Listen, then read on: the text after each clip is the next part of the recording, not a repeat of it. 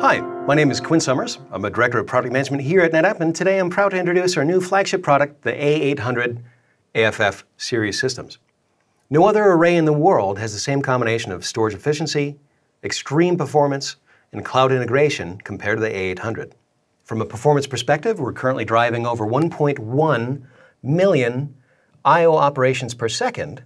These are 8K fiber channel random reads uncached at 200 microsecond latencies to 500 microsecond latencies. If you can tolerate a little bit longer latencies, we can actually push beyond that 1.1 million number. The 800 is the world's first end-to-end fiber channel or NVMe over fiber channel solution. This means customers with existing fiber channel infrastructure, switches and HBAs, and existing applications can take advantage of converting over into NVMe over fiber channel to increase uh, performance from the A800 and further reduce latency. We see approximately twice the amount of throughput possible with uh, NVMe over FC compared to FC. From a sequential performance perspective, the A800 can do 25 gigabytes per second sequential reads. This is important in today's analytics and machine learning. The faster you can move data through your machine learning pipeline, the more iterations and training you can do, resulting in a better accurate model.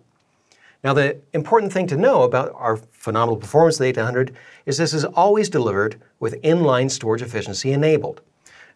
The 800 uses deduplication, compression, compaction, and clones to achieve an average of 4.72 to 1 data reduction. So almost five copies of logical data can get shrunk down into one copy of physical data.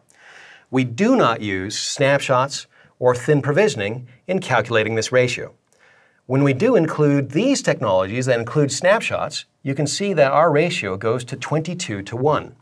And that may come as no surprise since NetApp invented snapshots over 25 years ago, and they're widely used within our install base. With that storage efficiency, the A800 can support 48 NVMe internal devices within 4U. And at 15.3 terabytes each, that yields an effective capacity of greater than 2 petabytes within four rack units. That's an amazing amount of data within a small amount of space. If that amount of data is not sufficient for your business needs, the AFF 800 can also scale out seamlessly to cluster sizes of 12 or 24 nodes.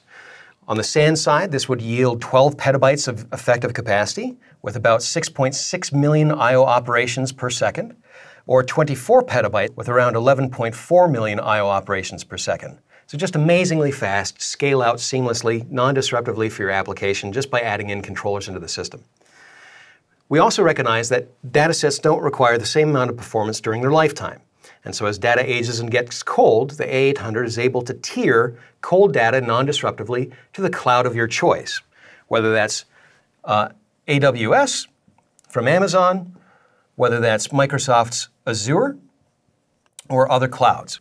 Automatically moving cold data in a non-disruptive fashion to the cloud to reduce storage costs, and then back into the AFF SSD tier on an as-needed basis when you're performing frequent access.